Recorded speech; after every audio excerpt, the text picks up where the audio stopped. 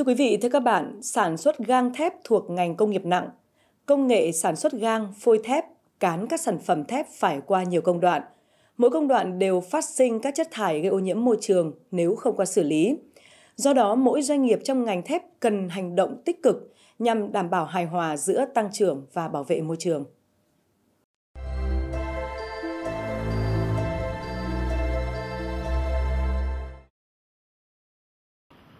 Nguồn chất thải phát sinh trong quá trình sản xuất gang thép gồm nước thải, khí và bụi thải, chất thải rắn. Trong đó, nước thải phát sinh từ hai nguồn, nước làm mát thiết bị và sản phẩm, nước dùng để pha chế các loại hóa chất để tẩy, rửa kim loại, sơn mạ màu. Ngoài ra, việc sản xuất thép còn sử dụng nhiều năng lượng như là than, ga, điện, dầu và các chất phụ trợ như hợp kim, điện cực, khí trơ.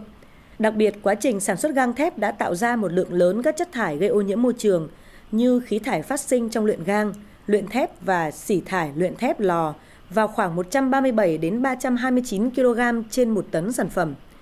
Cùng với đó, các ô nhiễm về nhiệt, rung động, tiếng ồn cũng là những vấn đề ngành thép phải quan tâm.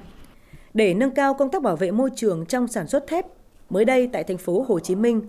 Cục Kỹ thuật An toàn và Môi trường Công nghiệp Bộ Công Thương đã tổ chức hội nghị tập huấn nâng cao năng lực bảo vệ môi trường cho các doanh nghiệp ngành sản xuất thép – nhằm phổ biến các quy định mới có hiệu lực của Luật Bảo vệ môi trường năm 2020 có hiệu lực từ ngày 1 tháng 1 năm 2022. Đối với ngành thép như vừa rồi Cục Kỹ thuật toàn môi trường cũng được à, theo kế hoạch công tác năm thì được à, lãnh đạo bộ phê duyệt thì cũng có tổ chức cái hội nghị phổ biến về các cái quy định về bảo vệ môi trường, đặc biệt là quy định mới cho các cái doanh nghiệp à, sản xuất thép. Ngành thép là một ngành mà cũng có nguy cơ phát thải lớn kể cả về chất thải rắn khí nước à, và ừ, nguy cơ rất lớn và đặc biệt nữa là ngành thép là cái ngành mà tiêu thụ năng lượng rất lớn gây ô nhiễm môi trường về phía cục cũng rất mong muốn được nghe những ý kiến của những người từ các doanh nghiệp để triển khai các quy định mới nó vướng mắc khó khăn gì và cần làm rõ hơn để cách hiểu thống nhất của quy định pháp luật để chúng ta về triển khai doanh nghiệp cho đảm bảo đảm bảo đúng theo quy định. Tại hội nghị này, Cục Kỹ thuật An toàn và Môi trường Công nghiệp đã phổ biến các quy định mới của Luật Bảo vệ môi trường năm 2020, Nghị định số 08-2022 của Chính phủ và Thông tư số 02-2022 của Bộ Tài nguyên và Môi trường, quy định chi tiết thi hành một số điều của Luật Bảo vệ môi trường, Nghị định số 45-2022 quy định về xử lý vi phạm hành chính trong lĩnh vực bảo vệ môi trường đến đông đảo các doanh nghiệp ngành thép, Bên à, Bộ Công Thương là rất là quan tâm đến cái vấn đề môi trường của Việt Nam và cũng như công ngành thép. Chúng tôi là, coi như à, về